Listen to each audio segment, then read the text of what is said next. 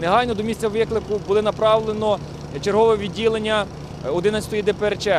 По прибуттю е, до місця виклику було встановлено, що е, виникла пожежа всередині будівлі, яка розташована, е, яка приблизно займає площу 500 квадратів.